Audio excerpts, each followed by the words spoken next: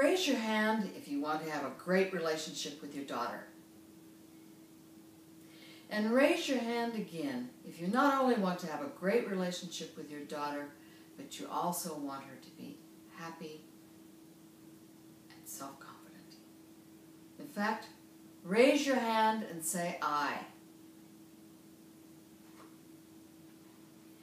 Maybe the relationship with your daughter is not going exactly like you would like.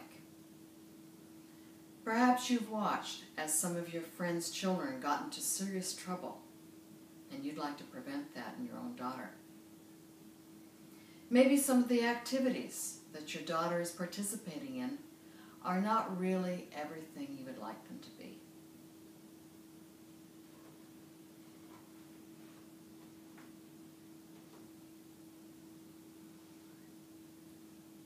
Imagine what it would be like if your daughter could come to you and really ask you the questions, the things that are bothering her.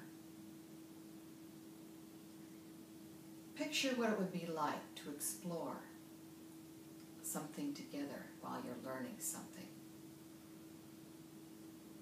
Imagine what it would be like if you and she could explore possibilities together and create something out of a flat piece of fabric and make something beautiful to wear. I'd like to talk to you now about the art of bonding with your daughter through sewing. Wouldn't you agree that if your relationship is not what you really want it to be, that you might need to do some things differently? That you would need a vehicle in order to do that.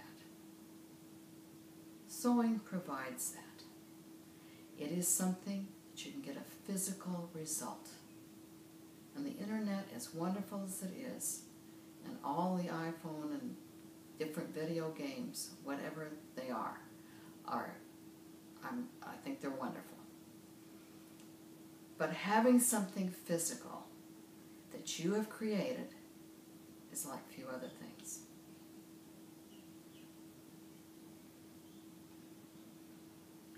The time that you have with your daughter, when you can really have that special time and create the foundation that will make her into a beautiful young woman, is very limited. Soon, if you wait two, three, four years, it will be too late to really achieve that foundation that you need to create the beautiful relationship that you can have. She will go on, look to her friends for support and guidance, and they may not be the kind of guidance that you would like.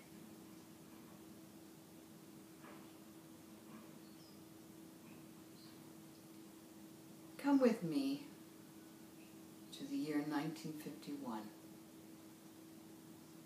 It was a year of moving, a moving date. My family was moving to a new town a number of miles away from our old one. I was six years old, and my father had just been appointed to a different church. We were going to a little town not far from Seattle, about 15 miles outside of there. And western Washington is green and lush, beautiful mountains not far away. And this little town was a lovely little town. As we came to the parsonage, the minister that was leaving to go to another pastorate came out to greet us.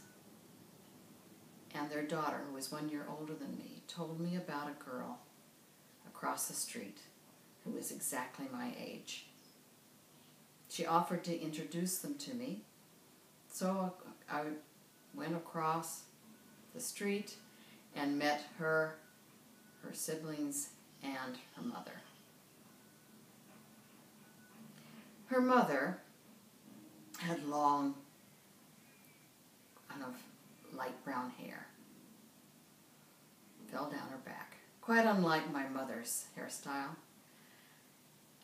which was very much in the early 40s style, something like the telephone operator um, Ernestine that Lily Tomlin created. We were, my father's church that he pastored was a very strict, very small uh, church, and we didn't believe in makeup or jewelry, dancing, or movies. And that was just a short, short list. We believed in being very plain, although the clothes we wore did not have to be. A high compliment that my mother would say about somebody that she had just met if they were from our denomination and they were very strict about their appearance was she's as plain as a stick. And that did not appeal to me. But my new friend Cindy opened up another life, another part of the life to me. She told me about movies she'd seen, about movie stars, some, and they had a television set. So sometimes we would watch movies together over that you know being shown on the tel- on television, and it was a fun time because we just didn't have those restrictions over there. We walked to school together, and when we came home from school, we would watch things like Howdy Doody, The Lone Ranger, Superman, and all those kind of programs. And I noticed that from the pictures she showed me, that other people looked a little different than we did. That year, for Christmas, my mother and father gave me a doll. Beautiful doll with red hair. I think that's where I learned to like red hair. And for Christmas and birthdays, she would make Liberta clothes. That's what I named her.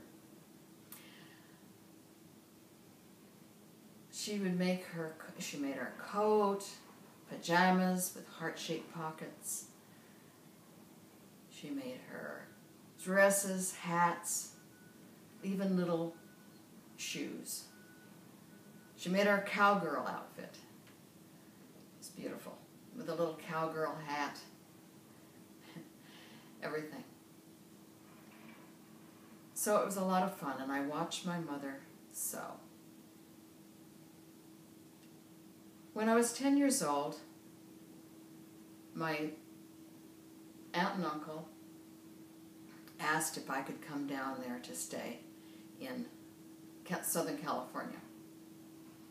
My parents agreed because my brother and sister had gone down the year before for the summer.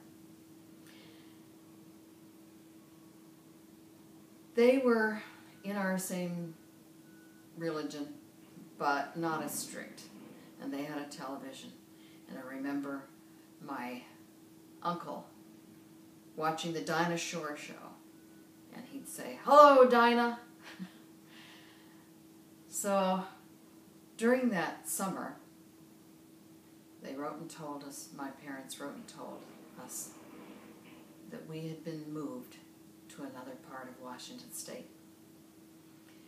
We had been moved to the eastern part which is desert, unlike the lush green part of the western part of Washington.